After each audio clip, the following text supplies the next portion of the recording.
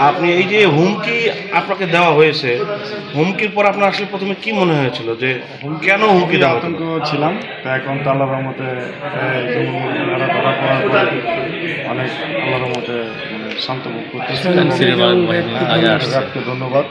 হ্যাঁ, সাংবাদিকদের ধন্যবাদ। আসলে মূলত উঠায় তুলছে? এই সাংবাদিক উঠায় তোলাতে কিন্তু আজকে আইনশৃঙ্খলা বাহিনী এটা করতে সম্ভব হয়েছে। আপনি পাঁচশো পঁচানব্বই টাকায় মানে কীভাবে মাংস বিক্রি করতেছেন? পঁচানব্বই টাকা আসলে গরুটার দাম কমই ছিল। আচ্ছা। তো এখন একটু দাম বাড়তি এই জন্য আমি ছশো পঞ্চাশ টাকা অন্য জায়গায় আরও বেশি কারণ অন্য অন্য জায়গায় ওদের সেলটা কম। আমার সেলটা যেমন আমার মতো আপনাদের অনেক বেশি। সেল বেশি হওয়ার কারণে আমার একটু পোষায়।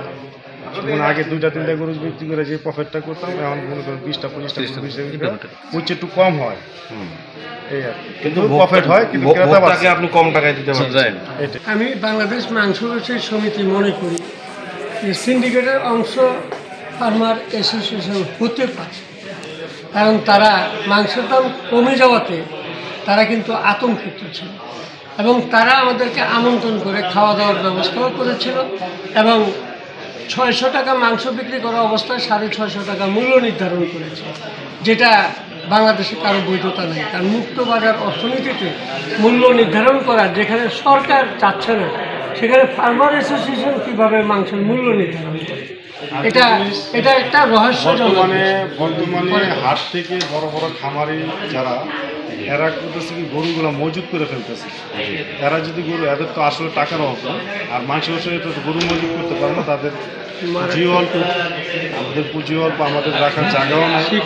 হ্যাঁ তারপরে এরা গরুগুলো মজুত করে কিন্তু গরুটার দাম বাড়াইতেছে।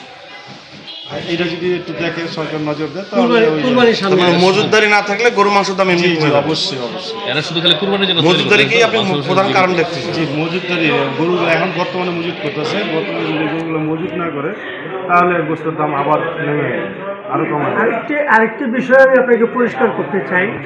ফ্যাটযুক্ত খাবারে গরু অতিরিক্ত চর্বি হওয়াতে মানুষের স্বাস্থ্য ঝুঁকির কারণ। এখানে একটি বিষয় পরিষ্কার। ন্যাচারাল পদ্ধতিতে আমার দেশের কৃষকরা যদি গরু লালন পালন করে, মাংসের দামও কম হবে এবং মাংসগুলো স্বাস্থ্যসম্মত